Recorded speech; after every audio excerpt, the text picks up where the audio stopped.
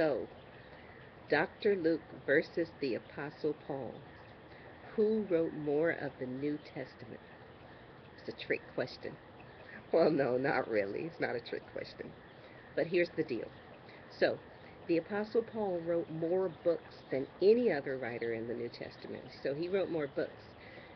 However, the Dr. Luke, his he wrote more content. The books that he wrote were larger. It was big books and larger books, so the material accounts for most of the New Testament. So, to answer the question, well, I guess it would be Dr. Luke.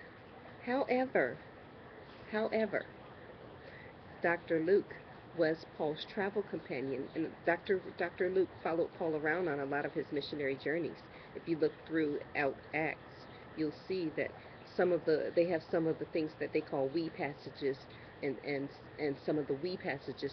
Those were the times when the the uh, Dr. Luke was accompanying the Apostle Paul on his journey. So, um, from the we passages, we know that Dr. Luke uh, was a companion or um, I don't want to say follower. I mean, he he went along with Paul and you know on some of these journeys. So like um, I don't, I don't want to say it like his helper, but okay. And in all fairness to the Apostle Paul, although Dr. Luke wrote more of the New Testament, much of the New Testament that he was writing about was about the work of the Apostle Paul.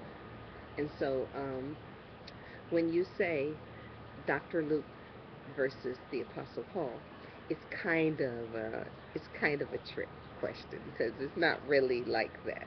It's to answer the question, Dr. Luke wrote more of the New Testament in content than the Apostle Paul, but the Apostle Paul wrote more books in the New Testament than Dr. Luke. Okay? Does that make sense? Okay, if you want to know more about this, you will find this information in, I think the best place would be to go to Acts, the book of Acts. Start out with the intro to the book of Acts, and it'll, it'll get you way along in getting the answer to any other questions or getting more information about this, this subject. Okay, till we meet again, be blessed.